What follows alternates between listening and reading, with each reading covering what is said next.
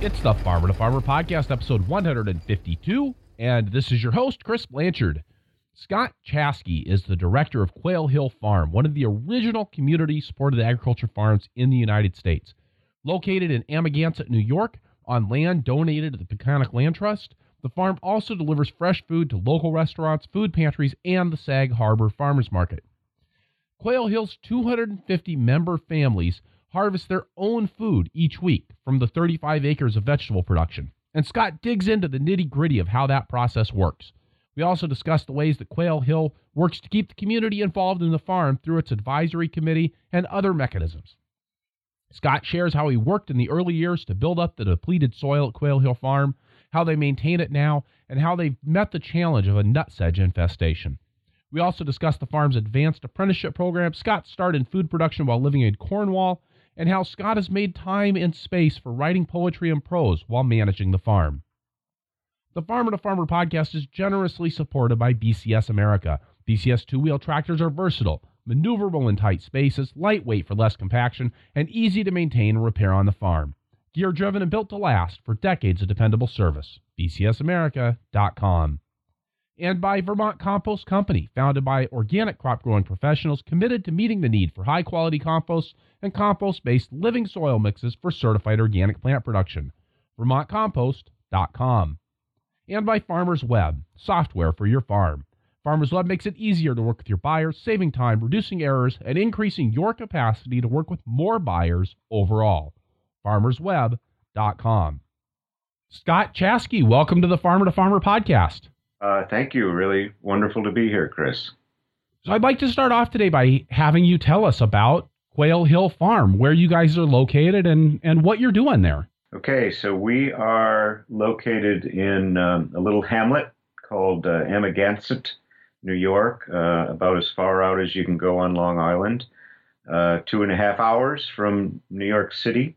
And we are part of an organization called the Peconic Land Trust, and we have been operating as a CSA for this is our 28th year, as a matter of fact, um, out here on the east end of Long Island. Uh, although the actual CSA started two years before that in another hamlet, uh, Bridgehampton, in 1988.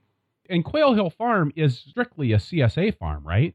Well, we are a CSA farm. That's mainly a CSA farm, and that certainly was why we were founded, and that is our identity.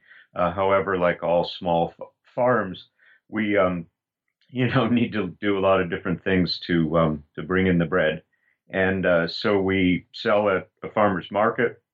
We uh, sell wholesale. We do some do some other field work like mowing and that sort of thing for other neighbors. Uh, so, you know, we do a bunch of different things, but the major part of the operation and the, the foundation of it is the CSA. How big is Quail Hill Farm?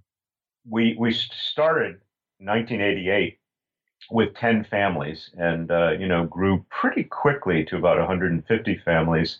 Uh, and now we're at about 250 families, and that's maybe between 600 and 700 people. And uh, in area, we're uh, farming about 35 acres for the CSA, although we're on a preserve uh, uh, that is 220 acres. And so we do tend more land than the 35 acres that we grow on for the for the CSA. But that's you know we started with four acres and a hand push rototiller, and uh, here we are 28 years later with five tractors and a lot more acreage. And Scott, what's what's your role on the farm? Because if I understand right, you don't actually you're not the farm owner here. You're you're an employee. Correct. I'm actually I have an unusual position I think for for, for a farmer in that I'm a, a salaried farmer. I actually work for the Peconic Land Trust, and Quail Hill Farm is not a separate entity. Uh, in other words, we, we don't have a bank account. Our our are the money that comes in and flows out of Quail Hill Farm all flows through the Peconic Land Trust, and the Peconic Land Trust is a larger umbrella organization, and I'm my salary is paid by the Peconic Land Trust. It's a it's an unusual setup for a, for a farmer, but one that I actually um, admire and and enjoy, and I have for many years. And I I've never actually felt the need to own the land. And I think in a lot of ways, for a CSA farm, being a salaried employee really does make a lot of sense because it is the ultimate sharing of the risk by the other partners and not having that risk be on the farmer.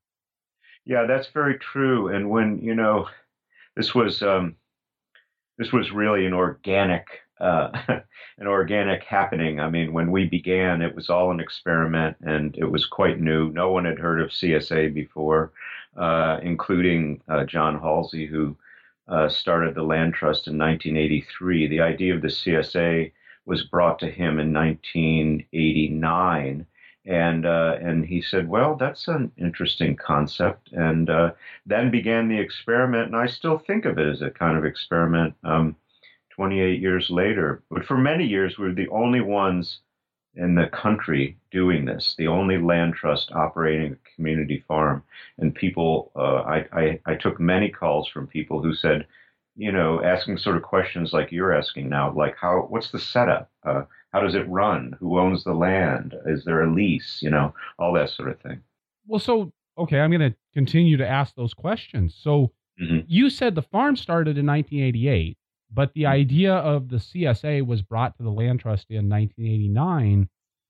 Can you mm-hmm. talk to us a little bit about how the CSA got started for you and then how it got incorporated into the Peconic Land Trust? Yeah, I think that's a really important question, uh, especially when you consider that CSA was just brand new. I mean, it had, you know, Indian Line Farm in Temple Wilton had just begun in 1986, so it was the beginning of CSA in this country.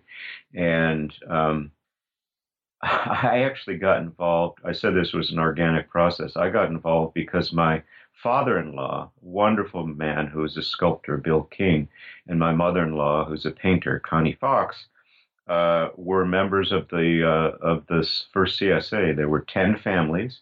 They heard about it. They got excited about it. We were living. My wife and I were living in England at the time. I spent ten years living in England. We came back to this country, and um, my father-in-law said, uh, "Why don't you come along to this meeting of a, of a, something called community-supported agriculture that we're involved in?" And I said, "Well, that sounds interesting." And uh, I went, and and here I am, 28 years later. and uh, I think the idea being brought to John Halsey, who was, you know, founding this land trust. Um, it was only six, seven years old at the time. Um, I think it had that kind of excitement for him. He he had the land trust had basically been given land. Uh, eventually, it was 220 acres of land um, by one woman, Deborah Light, and uh, the land trust had to figure out mm, what to do with it. It was it's prime farmland. The soils are beautiful, and uh, and and this idea of community agriculture was an exciting thing to dive into. So that's that's how that connection took place. But as I said, it was really an experiment uh, in in the beginning. Um, there weren't really any models for us to fall back onto. And were you hired by the Peconic Land Trust right from the beginning to be the farm manager? Yeah, actually, I was hired. There was another fellow who was excited uh, about um, biodynamics, actually, and, and and about he was really a gardener, but he was excited about biodynamics. He heard about community supported agriculture. He took the idea to John Halsey, and I had just moved back from England, and I came on as a I was really not an apprentice because I was in my late 30s at the time and I had lots of gardening experience. But I came in as a as a farm worker and then took over about a year and a half later, and I've had I don't know four or five different titles since that time, but I've been doing the same thing, uh, and and now I'm, I'm technically known as the director of Quail Hill Farm. But when you say you're the director, you're still out driving tractors. I am. I love that part of it actually, and um, I wouldn't I wouldn't want to give that part up. So I'm uh, uh, I, I, am nearing uh, nearing the time where I'm pulling back, uh, you know, but um, I'm still out there um, plowing and disking and planting. I love the seeding uh, aspect of it, and I'm not doing so much of the harvesting. The younger ones are doing that, but I'm I'm out in the field every day. How is the CSA structured at Quail Hill Farm? How are members involved? are they just are they signing up for shares and and getting a box for a certain amount of money, or are you guys running this in kind of the the classic Indian line farm way of having these you know meetings in the fall and presenting the budget and passing the hat until everybody until you have enough money to run the farm for the year? How does that work at Quail Hill Farm? Yeah, that's a really good question. And of course, a major part of the answer to that is that there is an umbrella organization. So a fair amount of the administration, et cetera, you know, happens um, happens there. And so we aren't structured like Temple Wilton. We do have meetings. We have a we as the the member involvement is very important. And and you know, I'm sure we'll talk more about the community aspect of of community supported agriculture.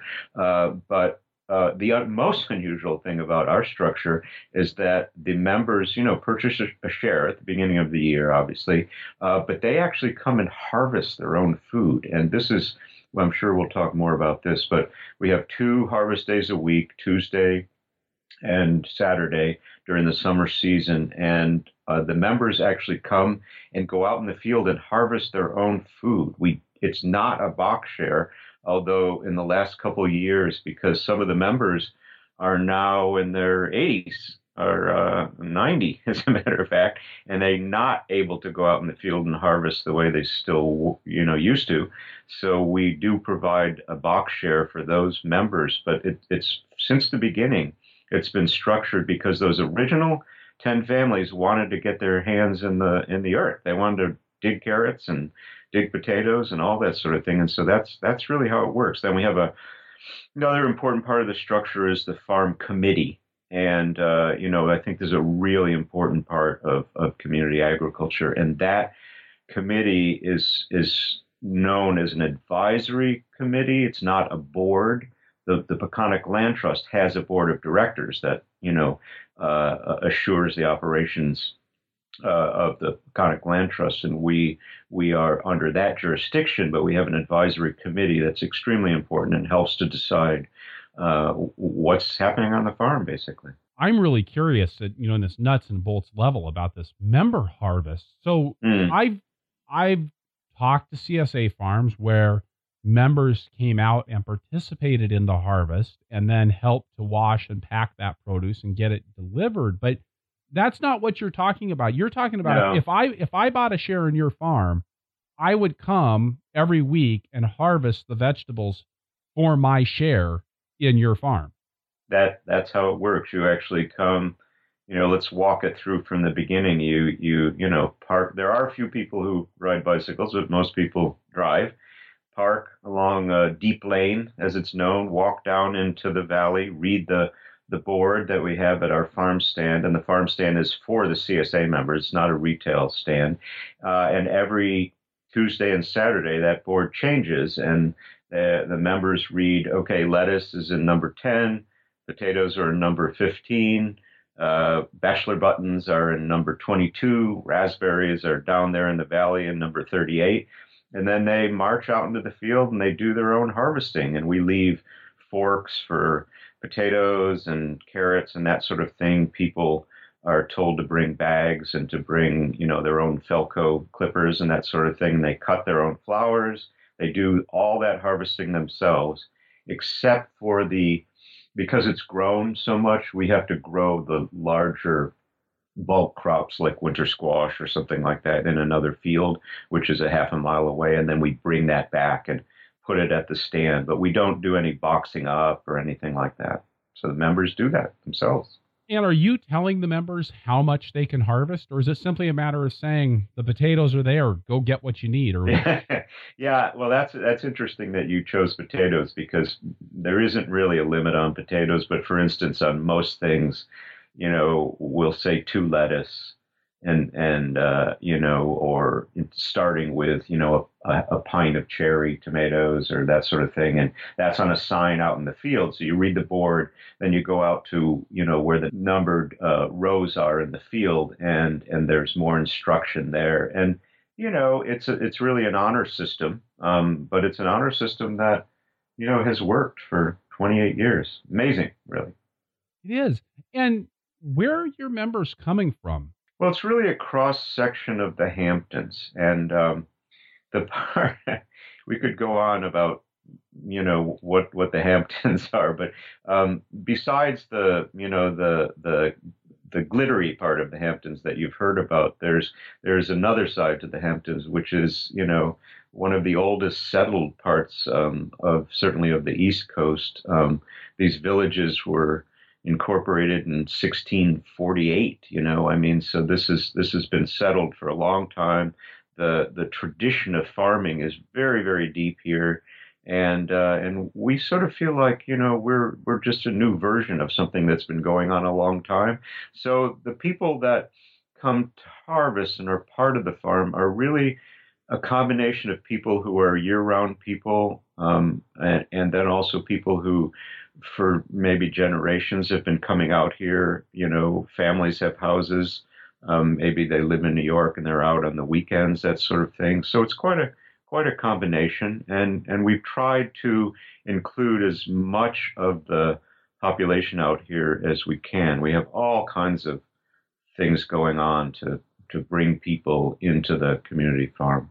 I'm curious about the the the economic cross section that you get. Do you have people from all income levels being part of the CSA, or yeah, I mean, it is the Hamptons, and you know, it uh, it uh, uh, it's it's you, just to live here, you know, takes a uh, takes a certain income. Uh, but the people who are less fortunate in economically here, we try and bring in in in in other ways, and we have done all kinds of different things, like um, asking people to pay people who can to pay more uh, than you know the the normal share price, and then we've taken uh, some of that some of those funds and and given them to other people who can't afford. So in a way that that model hasn't worked really well to include other people, but we keep trying in whatever way we can. And there's other options, so people can actually you know be involved with the farm in other ways without purchasing a share as well. And when you say be involved in other ways, like going to farmers market or buying yes. stuff at the store. Okay. Yeah, that's right. And we actually do a lot. We distribute a fair amount of produce to uh, a local food pantry, that sort of thing as well. And um, uh, you know, we just we we have like open days where where people can come and taste tomatoes and rate tomatoes and that sort of thing. And we have you know constantly have school groups coming, and so um, everybody uh, who lives in the Hamptons has an opportunity to, you know, participate in the in the community farm. What does your share pricing look like, given that you don't really have much harvest labor invest in the final product? That's a good question. When we started, we looked around at, you know, the other. There weren't that many CSAs, but we looked around and, you know, at what the pricing was like for those. And you know, I think back at that time, it was a share price might have been four hundred dollars or something like that. And um, you know, but that's twenty eight years ago. And every year we've basically you know gone up by cost of living increase, but not much more than that. And um, I mean, the present price is over nine hundred dollars, but that's for uh, members have done some investigation and, and gone to local supermarkets and local health food stores and that sort of thing. And we know that the share is worth much more than what it costs if indeed you know you follow through and, and do all your harvesting it's really up to the member to do that um, but um, you know it's certainly well worth it you said that the members are very involved in the farm not just in this in this kind of this functional level of harvesting the produce but also at that higher organizational level tell us a little bit more about that structure well, so we have this, you know, farm committee, and a number of the people who've been on the farm committee uh, have been part part of it for, you know, over 20 years, I would say. But we're always trying to bring in new uh, new voices to that, and and basically, when we meet, we talk about, you know, the the state of the state of the farm. We discuss everything from the economics, you know, including the share price uh, to arranging community events. And, you know, in the first years, we were really spending, most, certainly the farmers were spending most of our energy on you know, figuring out how to grow the crops and renew the soil and all that sort of thing. But then we realized we weren't putting enough energy into the community aspect, and so um, we didn't have enough time to do to devote you know all the energy we should to that. So so members took that up, and so uh, we have certain events, and and and and the members who are on the farm committee, you know. Uh, enlist volunteers to run a farm breakfast that happens at the beginning of the year.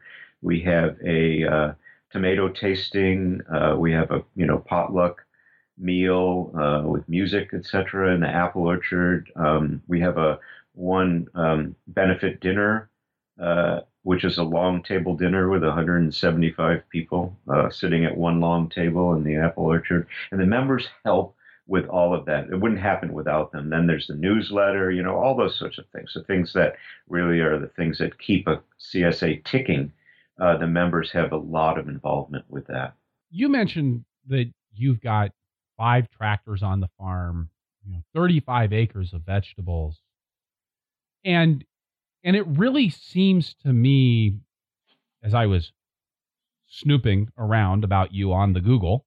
Yes. That soil building is a really important element of your involvement in the farm. It's something that really speaks to you. Yeah, I mean, it's really the, it's probably the basis of why I'm doing what I'm doing. And we've actually always said that the, the farmer's job is really to build up the health of the soil. That's what we're there for. I mean, uh, we do have to grow some vegetables because people seem to want the vegetables, but building up the health of the soil is my favorite part of it. And uh, I always I always uh, return to the beautiful phrase by um, Miriam MacGillis of Genesis Farm, where she said the real health of a bioregion resides in the top six inches of topsoil, and uh, I believe that's true. And um, and I've seen it in in action here on our farm because we took over land. Uh, that was farmed in potatoes and corn, potatoes and corn, potatoes and corn, and uh, and and we it needed needed to be revitalized. And and so I've seen what you know this style of agriculture can do, and uh, and it's a it's a beautiful thing when you you know look at the shine on the cover crop that you're putting on in the fall, and uh, and and that you can taste it in the vegetables as well. So we've done a lot to to uh, renew the vitality of the soil. It's really really essential to everything we've done. At a practical level, how have you gone about that? Well, in the beginning, we we used um, lots of compost, more than we use now, and probably it was easier then because we had less acreage. But we're lucky that we have two horse stables, two or three horse stables actually near to us, and they needed to do something with with their manure, and we needed uh, we needed it for our field, so we got into a uh, composting, uh, you know, very heavily in the beginning, and basically for the first year, probably for the first ten years, I'd say we we composted every year every bit of ground that we were growing vegetables on. We we don't do that every year now, and we've come to rely more on um, cover cropping. Uh, you know, the use of of oats and rye with with a legume. Uh, Austrian winter peas are our favorite now, and uh, and so we do a lot with that as well. But we're still composting when we when we need to. And we, we for the size farm we are, we use very little, you know, bought in fertilizer. Uh, so we're trying to do it with, you know, rotations and resting and cover cropping and all that sort of thing. And from a mechanical perspective, are there, tell me about your tillage practices and how those relate to the soil building effort. I'm so glad you have these kind of. I love I love these kind of questions um, because so often, uh, I think probably because what we've been doing is is pretty unusual. You know, w- w- the combination of a a conservation organization and a and and the community agriculture and everything. But of course, um, you know, the basis of the farming aspect is you know quite rigorous and has to be if you're going to continue using the same soil year after year. So um, in the beginning um, I didn't talk about this, but there were some really important early meetings of community support agriculture held at a, a, little Waldorf school in a place called Kimberton, Pennsylvania. And there were some pretty pretty good farmers there, and I learned a lot from them and uh, about you know uh, equipment, etc. And so, in when I came to the farm, uh, the only tillage instrument that was there was a rototiller, and it was obvious that that was going to really ruin the soil if used over and over again. So, uh, in the end, we you know we purchased you know one implement a year for many years, and uh, we we use a chisel plow uh, in a, a, disc harrow, and we finish it off uh, with something called a perfecta. My, my my favorite implement on the farm actually, or tractor implement. Um, and occasionally we use a rototiller, but very very rarely. And um, and that's really our our major tillage, the chisel chisel plow, basically. And then in your crop rotation, are you? You said you guys use a lot of cover crops. Are you pulling ground out for full years and uh, and fallowing as part of your rotation, or is it really putting in the cover crops between vegetable crops every year? I think that's closer to it. What you've just said. Um, in the beginning, we actually um, there was a, a, great fellow Tim Laird who was farming with me in the beginning, and we we had down on paper this beautiful seven year rotation, and two of the years, you know, the last years after the after the cropping uh, were clover was clover, um, but then we found we have a very particular problem, and and and we've got um, uh, nutgrass or nutsedge, you know, loves our our soil, and if we leave, uh, it's everywhere basically, and if we leave uh, a ground fallow for for too long, even even a year in some places, um, the next year it looks like we seeded, we plow it up, and and up comes the nutgrass, and it looks like we've uh, we've seeded nutgrass. So it actually is better for our system to put on really great cover crops and continue the tillage. But we do rest. Obviously, we're you know there are sections that we're resting for at least a year, um, probably not two years, but at least a year, and we're putting down uh, legumes to do that. We use clover a lot. Really, one of one of my favorite uh, seeds. I'm really sorry about the nutsedge, Scott. Thank you for saying that. That stuff is the worst. I mean, uh, and and especially because I mean, in my experience, it's really hard to kill with tractor-based cultivation because you're constantly cutting. You know, the the little the little nuts like two inches or three inches down in the soil, and yes. it just keeps coming.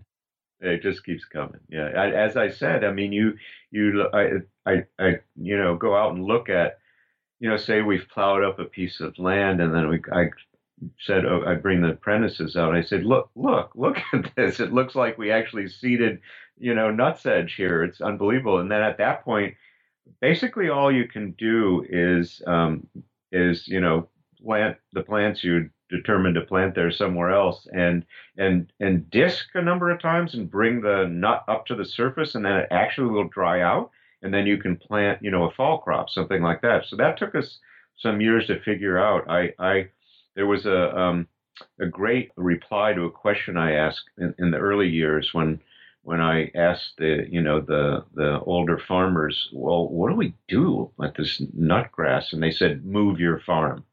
Very very helpful advice. Yeah.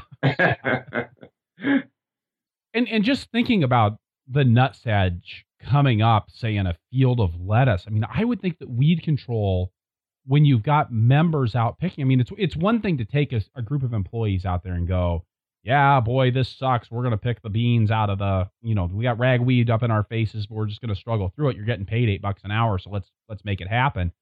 Right. It's another thing to send your members out into that kind of an environment. Would you say that your farm is cleaner than your average organic vegetable farm? no, I mean, you know, on certain years, yes. I mean, but you know, as we've expanded the acreage, you know, we've got we got our share of weeds. Not, I, I guess I won't say I'm proud of them though. They're there. You know, it's a constant. I mean, it's part of organic farming. You, you've got to figure out what to do. And, uh, you know, there's sections where, you know, members are harvesting and, you know, say like the early greens or something that could keep going for a long time get taken over. You just say, well, we just plant again. You do, you know, uh, turn that in and put in some buckwheat or something, and you know, seed some new crops. So yeah, it's a it's a constant struggle dealing with weeds. And is it something that your members are fairly understanding about? Yeah, I think you know, in ge- in general, they are. I mean, I think it's it's it's you know, there's some we, we have a survey every year, and and people do you know complain about this and that, and you know, weeds are probably up there on the list because even you know, say you, you you know seeded some flowers in the spring and you know beautiful patch, and all of a sudden it before you know it, it's taken over by you know um, some weed or another, and and uh, you know the members do a little complaining about uh, about that. However, I think most of them because we get so many positive responses, and this is one of the things that's kept me going is that uh, of how appreciative the members can be. You get come on a Saturday, and they so many people will say, "We really want to thank you for for what you're doing. And you know, we the farmers feel like we want to thank them because they're keeping us going. But um, they can be incredibly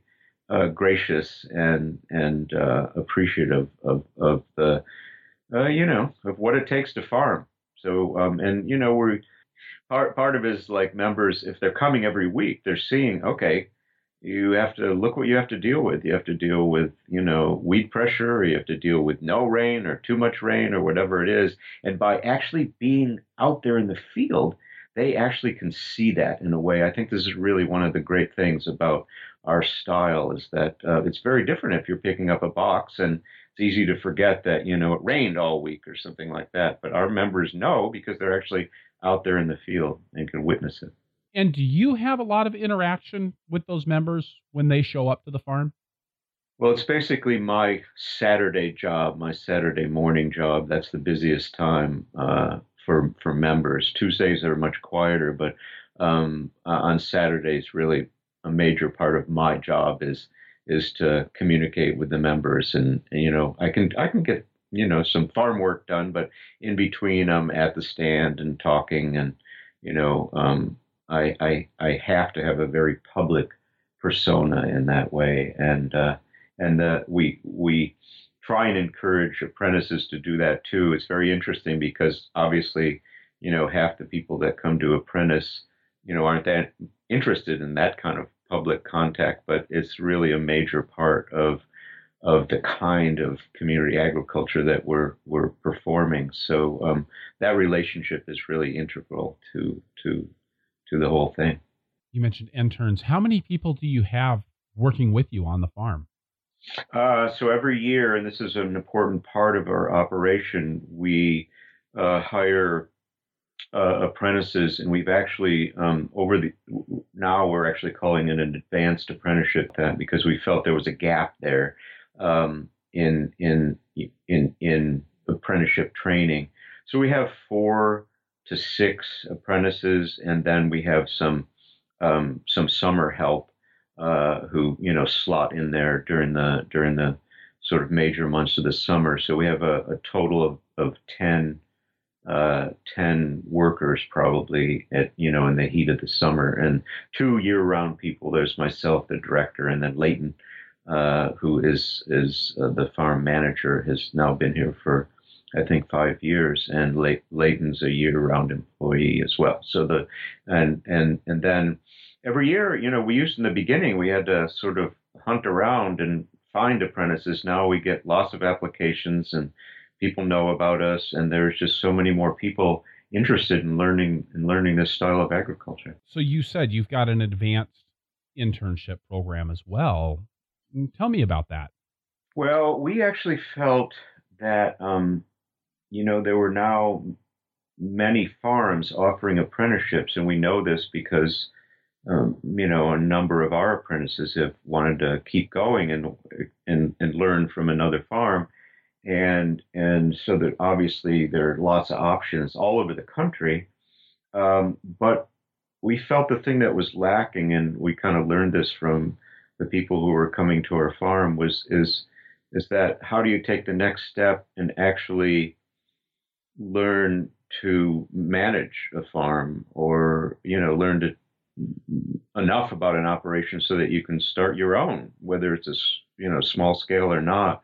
And so we are looking and we're hiring people with uh, some experience and sometimes a fair amount of experience and trying to give them, uh, you know, a lot more insight into all aspects of, of what it takes to run a farm. So that's a really easy thing to say. How do you actually go about doing that? How do you structure that experience for those interns so that they are getting a real understanding of what it really means to run a farm instead of just what it means to be out thinning the carrots? Well, um, I, I, guess I should mention that Layton, our farm manager, uh, after farming for years um, at a you know a, a, a production farm, uh, went to Santa Cruz and was you know part of the the Santa Cruz uh, program, which is I think now celebrating its 50th year or something. Uh, and uh, you know there you actually pay to to to learn all different aspects of of gardening and farming rather than getting paid. Um, but you know, it's a it's a it's a structured study.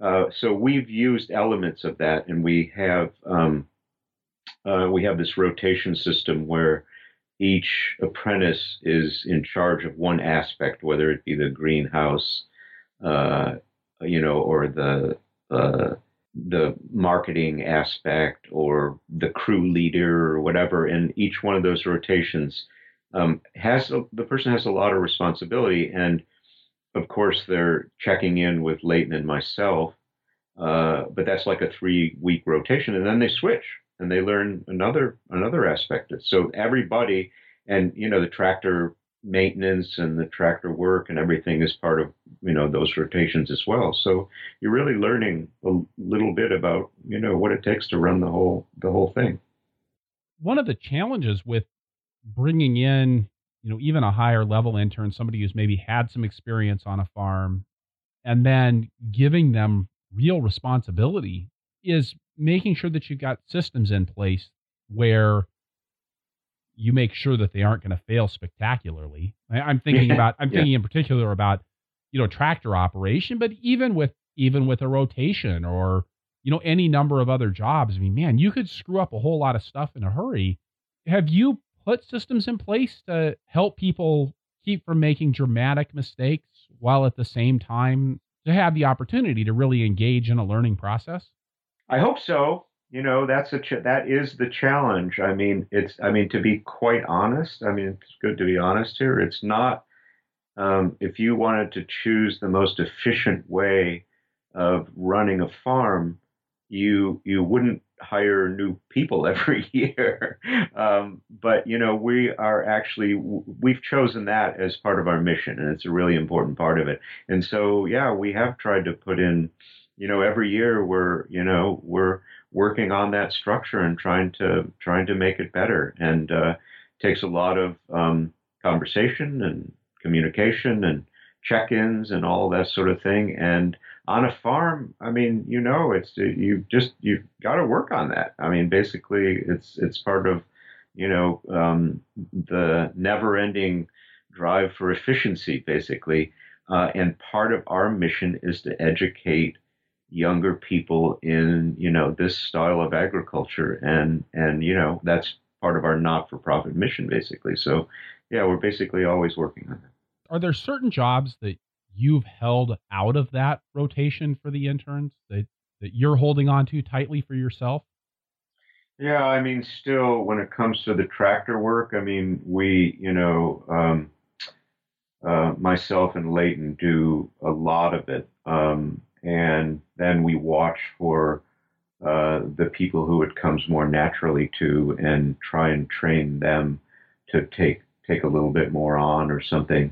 Uh, and then, of course, there's the, you know, I mean, I have a, you know, a, a, we all have job descriptions written down on paper and, you know, I've got a million tasks and responsibilities and that sort of thing. And parts of them, you know, I have to do or Layton has to do that have to do with member communication and uh, you know setting up uh, the the farm committee meetings and uh, dealing with um, nearby landowners that would be important aspects. So yeah, there there are multiple parts that the apprentices don't take part in, but you know that's there.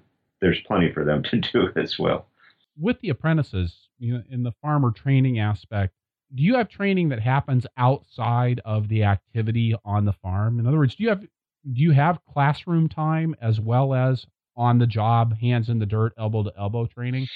Yeah, we do, and that varies a little bit every year by by who who who is there, who what what who, who the who the learners are, and you know what the personnel is. Um, but there's also we're part of a a, a craft network, um, which the first one I know of started in the Hudson Valley, and um, you know the way that that is set up is that the apprentices uh, along with apprentices from other farms or workers on, on other nearby farms, travel to one farm or another to learn the specific specific operation of that farm.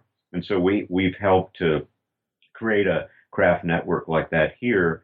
And um, you know, during the season, uh, there's multiple chances to go uh, see what's happening. We're on the South Fork. Go and see what someone's doing on the North Fork, or someone who's focusing on on raising uh, raising birds for eggs or meat, or uh, someone who's uh, fo- focusing on growing grains, that kind of thing. And so the the apprentices get kind of all the training they want to participate in in in that respect. That's taken some years for that to happen. But besides that, we're also uh, sitting down and you know talking about different members, uh, different aspects of the of the of the farm operation, everything from the uh, economics to you know how to how to pack vegetables for wholesale, that kind of thing.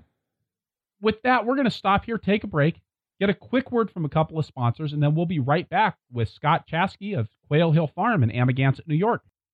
Farmer to Farmer podcast is generously supported by BCS America. A BCS two wheel tractor is the only power equipment a market gardener will need, with PTO driven attachments like the Florida tiller flail mower, power harrow, rotary plow, snow thrower, log splitter, and more. You name it, and you can probably run it with a versatile BCS two wheel tractor. The first time I used a rototiller way back in 1991, it was mounted to a BCS two wheel tractor and it spoiled me for life. When you get behind a BCS, you can tell that it's built to the same commercial standards as four wheel farm tractors, and it has many of the same features. I've used other tillers and mowers and spent most of the time that I was using them thinking of how much easier it would be with a BCS. Check out bcsamerica.com to see the full lineup of tractors and attachments, plus videos of BCS in action. Perennial support for the Farmer to Farmer podcast is provided by Vermont Compost Company. I asked Scott about his potting soil, and here's what he had to say. When we started seeding for transplants at our farm, the seed mix was extremely important to us. We, we, we know it's important to the life of the plant. And we actually brought in uh, an advisor. We got a SARE grant, and a fellow named Will Brinton, uh, known as the Julia Child of Composting, came and advised us on creating our own seed starting mix. And we did that for many years. But we kept growing as a farm, and it just took, you know, more and more time as we grew more and more plants, etc. And at some point, we said we have to do something different, and we checked into different potting mixes and uh, Vermont's uh, compost mix, and we thought it was um, about as good as what we'd been making ourselves, and uh, we made the switch. And since that time, I think for probably at least the last six, seven years, something like that, we've been using Vermont compost for all of our seed starting processes. And um, it's just great stuff. I know and I believe in the work that Karl's done for many years. We met in the early years uh, through NOFA, New York. And I always went back to, to Karl's um, workshops because I said, this person knows a lot about how to create a sustainable agriculture. Vermont Compost com. All right, and we're back with Scott Chaskey of Quail Hill Farm in Amagansett, New York. So, Scott, you mentioned that you had spent 10 years in England before you came back to the States and ended up working at Quail Hill Farm and eventually taking over the management. What were you doing in England? Well, I actually went, um, I studied literature in, in college and um, took a few years off and roamed around and before go, deciding, well, maybe it was time to go go back and uh, and get a graduate degree. And I found a, luckily found a program through Antioch College, um, uh, uh, an MFA, a Master's in Fine Arts and Writing. And uh, the reason I was attracted to it first was because the summer program was in Ireland, and uh, my mother was born in Ireland, and I'd always wanted to uh, see the country there, and and um, that first attracted me. So I went, and um, and then uh, the year-round program was in uh, London, actually, in a place called the the Center for British Studies, uh, and the fellow who ran the program. A guy named Michael Lynch uh, lived in Oxford, and I went to visit and fell in love with with Oxford, and uh, he managed to get me a reader's ticket to the Bodleian Library, and um, so I spent two years living living in Oxford, and uh, and met uh, Megan, my my wife to be, who had another interesting connection with England, uh, with with um, a tiny little fishing village called Mousehole, but spelled Mousehole in Cornwall, the southwest tip of England, and uh, through a kind of magical um, rainbow of fate, we wound up living in uh, in a little fishing village in Mousehole in Cornwall, and we stayed there for eight years. had got married there, had our first house there, had our first child, etc. And that's where I learned to garden. Was uh, first in Oxford and then and then in Cornwall. Learning to garden in Cornwall did you have the kind of great soils that you're farming with in Long Island? Well, uh, we, the, the, the, soil quality was probably very similar. The the um, the landscape was really quite different because I actually learned um, in these cliff meadows. They're called incredibly steep, so that actually it all was done with shovels and something called a chipper. It was all done by hand. Couldn't even get a rototiller. They were so steep really magical, um, facing a, a, a, beautiful bay called Mounts Bay, named after St. Michael's Mount, a castle rising on a top of an island that we looked out at. And, um, and these cliff meadows were known as the first ground in Britain. And when I heard that, I thought, wow, that's an amazing thing. I, I want to be somehow involved in that. What that meant was that these Cornwall is the mildest climate in England, although that's a mild is an odd terminology when you're talking about Cornwall because the winds are so ferocious there. But um, the first new potatoes and the first flowers to find their way to London uh, and Covent Garden Market all came from these particular meadows, and that um, the historical uh, quality of that just entranced me, and and I had a great mentor uh, a character named Edgar Wallace who had worked in those meadows all his life. And uh, I learned a lot about the soil and working with the soil and about plants and and about the patience it uh, it takes to to be a gardener or a farmer. I'm always fascinated by what people studied and and how they ended up in farming after studying it. But I mean, and, and in part because you know when I when I finished my college degree. It was in horticulture. And you know, it seemed very practical, and and and then I went off and marched on my merry way to go work on other more vegetable farms, and eventually become a vegetable farmer. Right. And all all right. seemed very logical. Um, you know, but but I also know because I I also had a background in liberal arts that that that that also has an impact on on how a person approaches their farm. And you were studying literature and I know that you're a poet. How how has how has your involvement with literature and and your your writing and your poetry influenced your farming? Well, it's a wonderful question, and I, I I'm sure you would guess this that I've done a fair amount of time thinking about that and trying to come up with a, a simple answer, and I've, I've never arrived at that simple answer. Uh, but the the the basic fact is that they go together so well, and uh, and I've never felt that they were separate at all. There's a wonderful I I I, I couldn't come up with the the one line myself, but I have a a, a, a friend named Lisa Wujnovich who farms at Mountain Dell Farm uh, with her husband Mark Dunau, and she's a poet as well. And and here's a line that from from Lisa. In farming, I toil at what nature does easily, and in poetry, I work at the ephemeral by attempting to embody time in language. So that's probably not an answer that's going to satisfy a lot of people, but that's about as close as I can get. And um, you know, it's it's it's been a uh, a real privilege to be able to uh, study language and to study the language of the of the earth at the same time. And I know from experience that it's not necessarily an easy thing to do to take the time to do that writing, to to notice your surroundings, to cultivate the sense of wonder that that I think that poetry almost demands from a person. How have you made the time or men maybe made the time's not the right question. But how have you made that work for you personally? Yeah, you know, the thing about writing poetry especially is that you need it, it's not just time, it's time and space or whatever that magic is that connects them. And that's been difficult to to find and to kind of protect.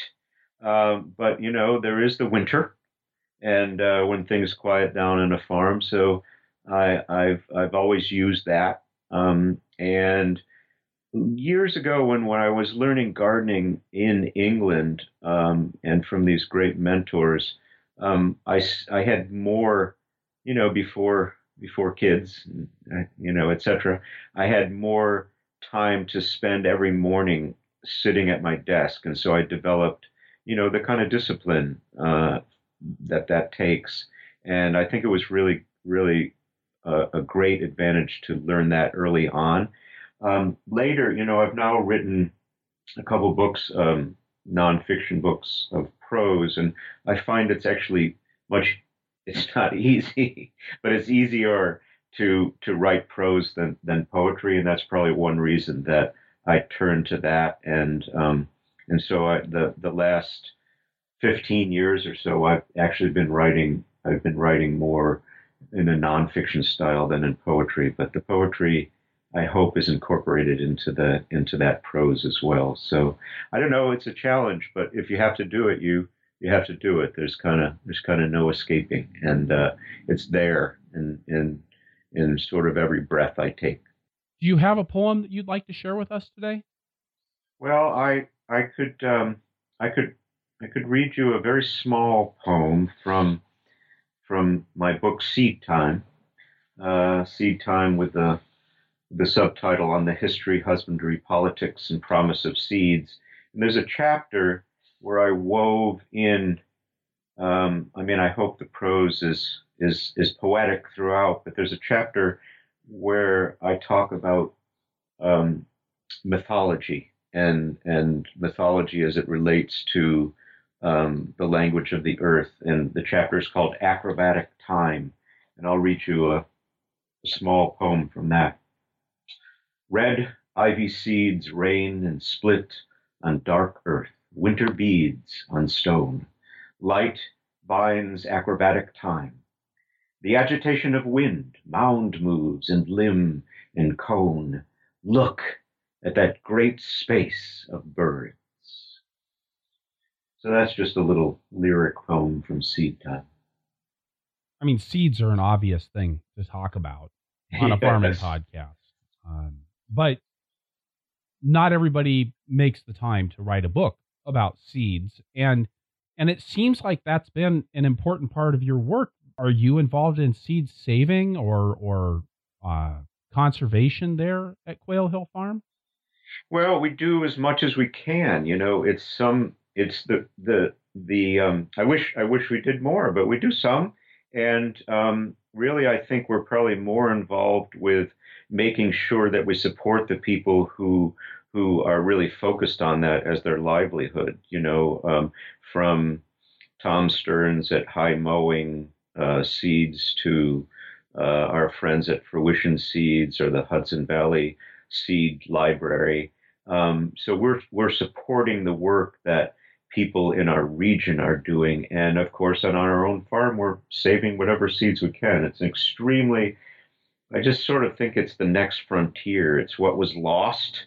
It's the way that you know human beings have always um, kept agriculture alive, and uh, and the revival of the skills of seed saving are so important now. So, you know, we've gotten involved with it in that way.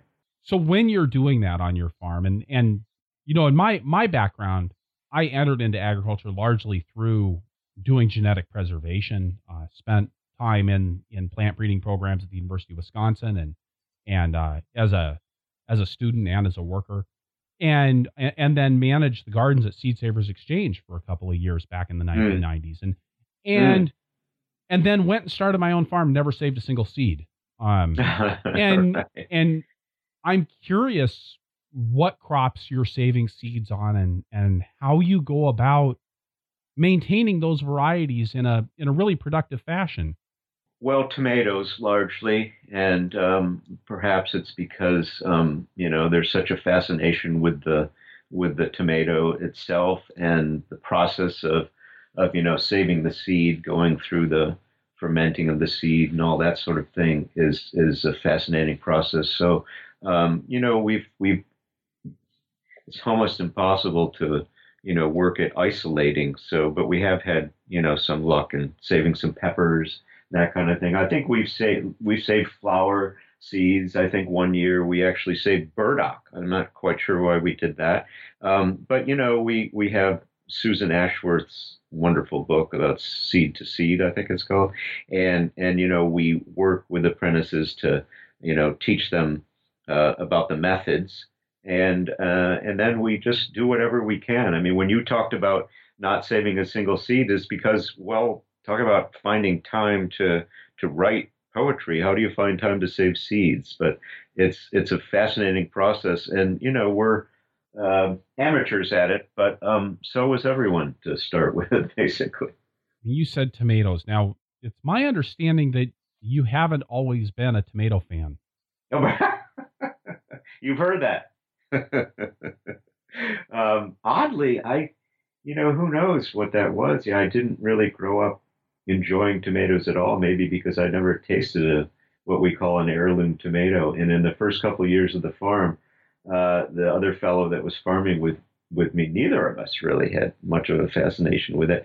And then we started, you know, experimenting and growing some of the some of the older varieties, and thought, wow, what a flavor this has. And uh, uh, I've never looked back since then. So yeah, I, I, I, think it was a late love affair with the tomato, but um, it's it's there.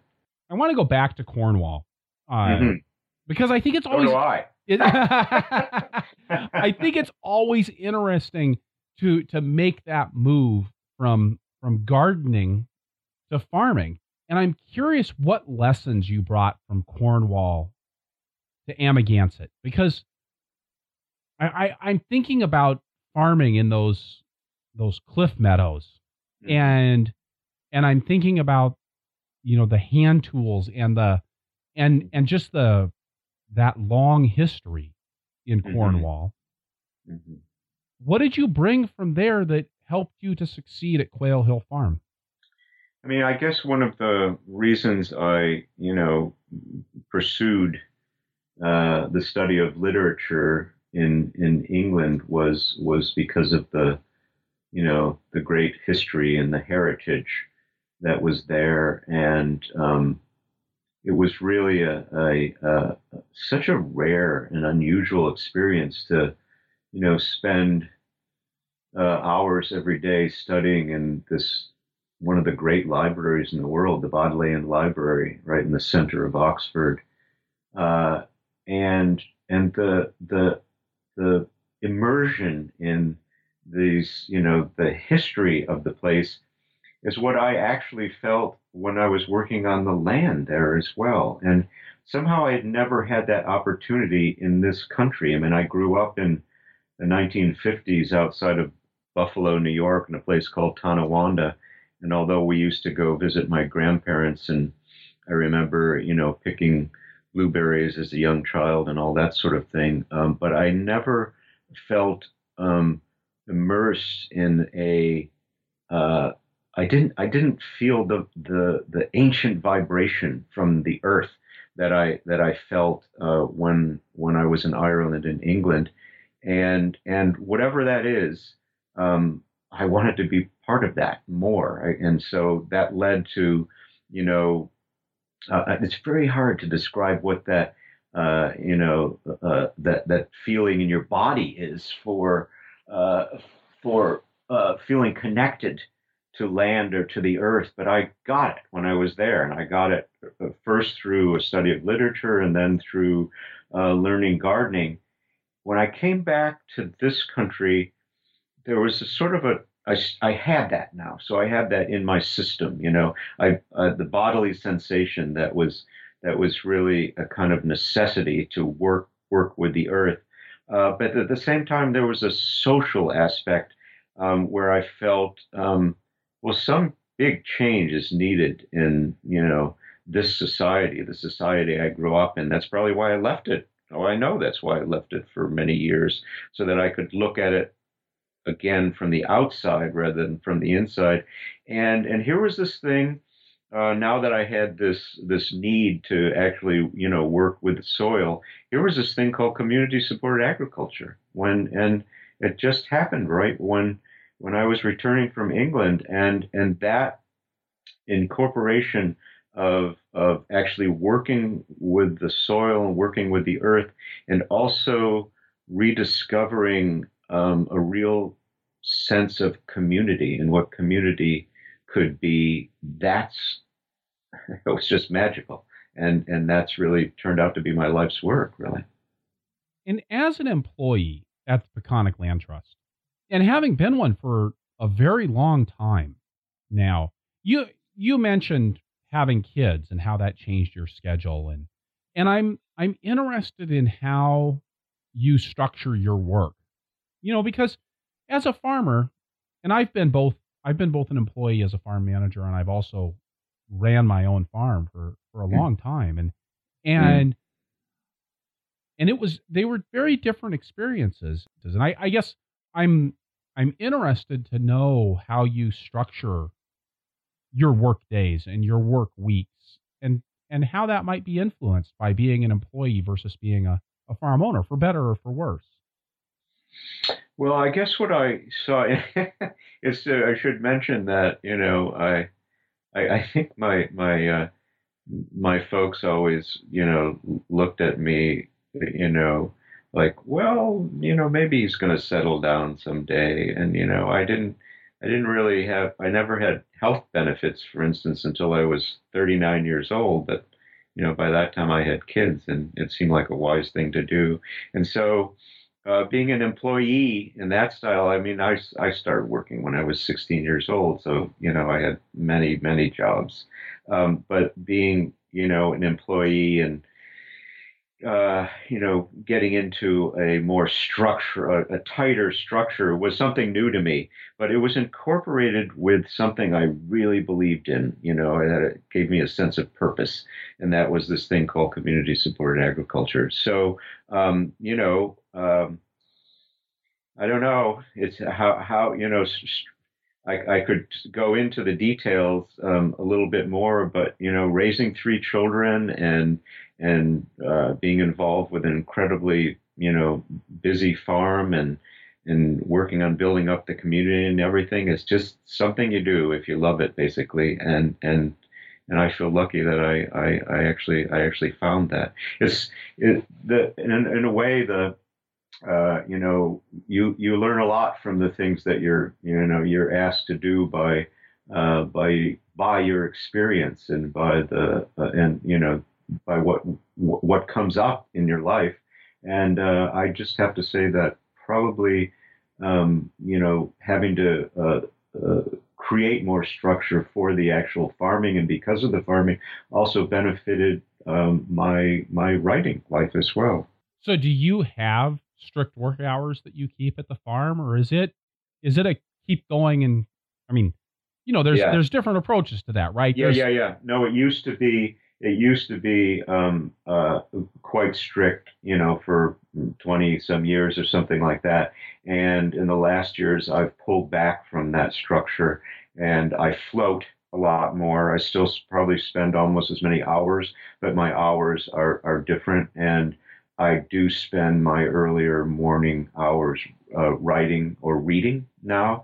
And uh, I, I had to do that when I had a book contract, and I had to get the book the book in, and uh, and the only way I could do that was to actually spend every morning uh, writing um, to uh, finish that book, especially the book Seed Time, because it took so much research, and then I would you know arrive at the farm.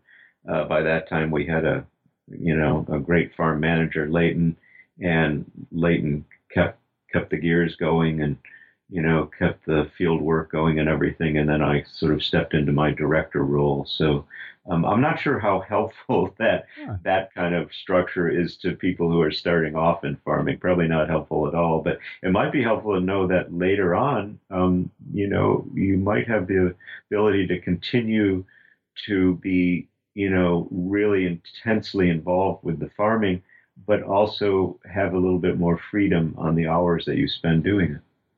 Well, I think on the farm, you know, just like there's seasons in the year, I think there's seasons in the in the growth and development of the business, and you would hope that that frantic, frenetic beginner's pace doesn't go on forever.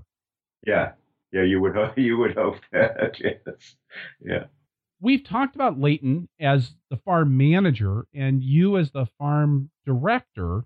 hmm Now, it seems pretty clear that there was a point when when you were you were doing the work that Layton is doing now.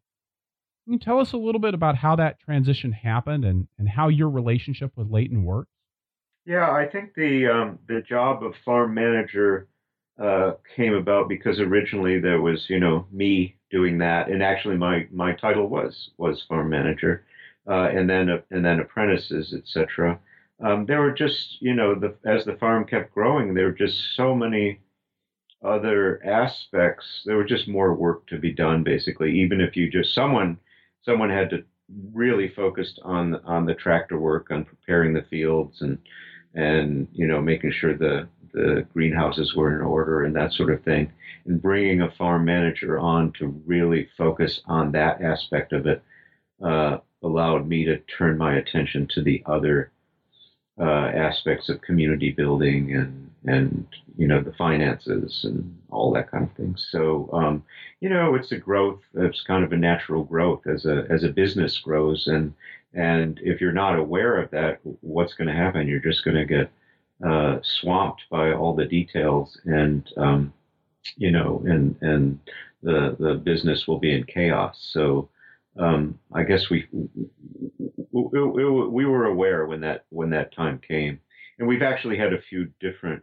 At one time, we did have a market manager, and we've now sort of folded the market manager job into one of the of the advanced apprentice rotations.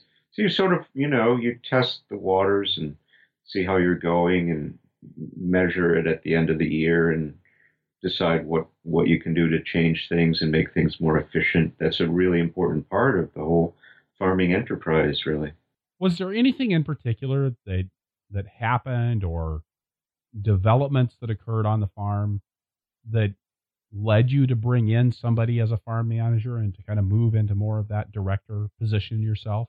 I think it was just the growth. I think uh, you know it's just a matter of numbers and you know the the, the acreage and more people and you know uh, you know the. I mean, I'm not the kind of person that feels that you know.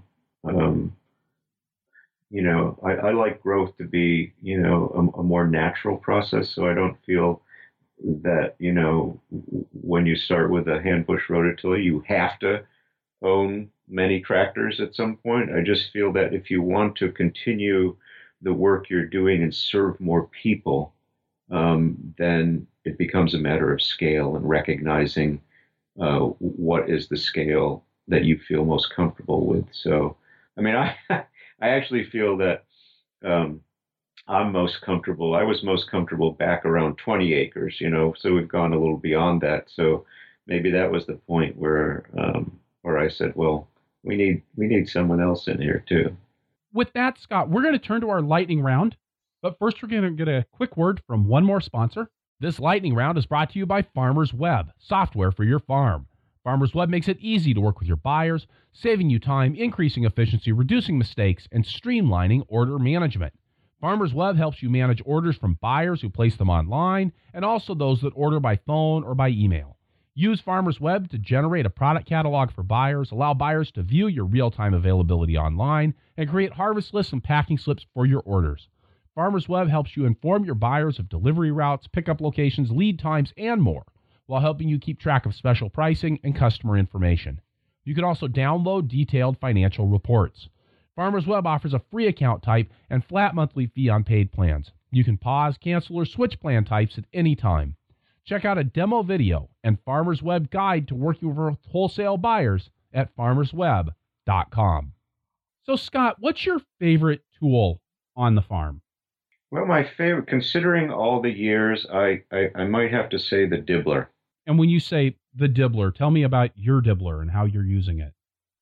Well, the one that we used solely for many years um, uh, before you know we we got the water wheel transplanter um, uh, was um, formed out of a, a, piece of black, um, and piece of piece of uh, white uh, uh, pipe that was um, uh, the price was a, a, six pack of beer off the back of a of, of an electrical truck.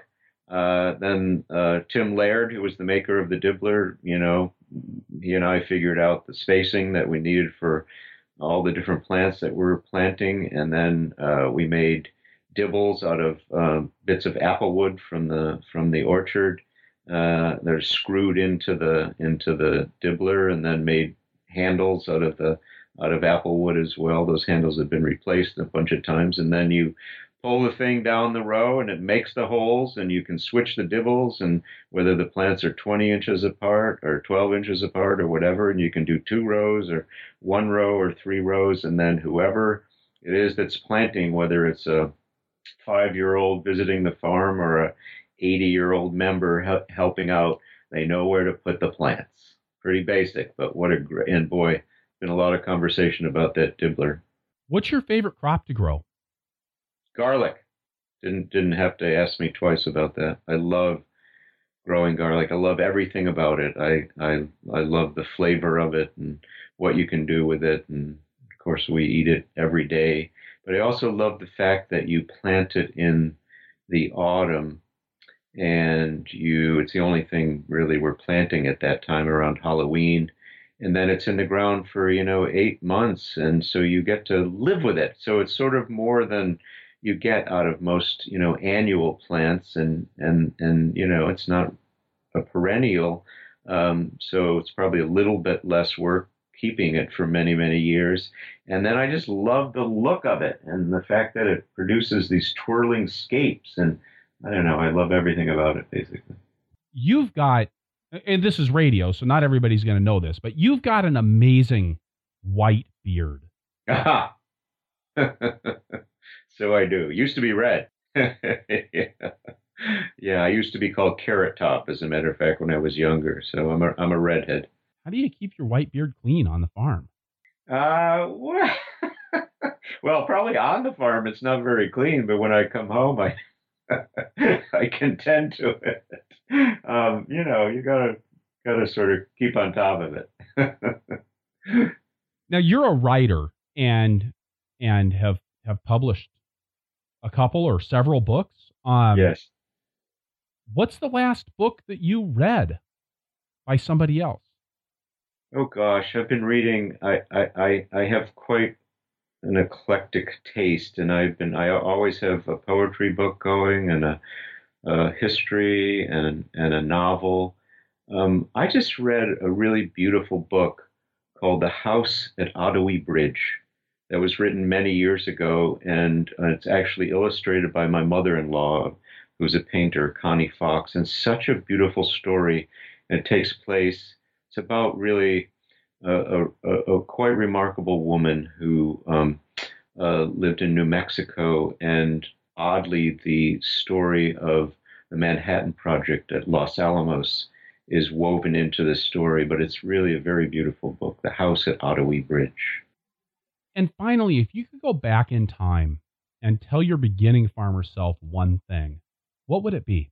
Have patience and, and, and develop patience and um, learn to respect and uh, and to learn more uh, every day from from the land that you you have the privilege to work with.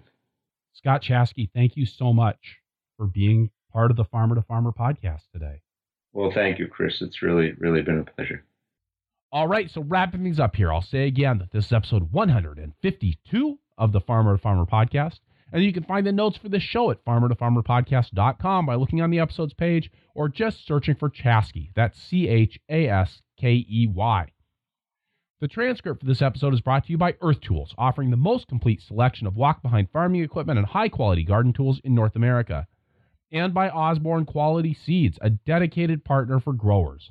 Visit osborneseed.com for high quality seed, industry leading customer service, and fast order fulfillment. Additional funding for transcripts is provided by North Central SARE, providing grants and education to advance innovations in sustainable agriculture. You can get the show notes for every Farmer to Farmer podcast right in your inbox by signing up for my email newsletter at farmertofarmerpodcast.com.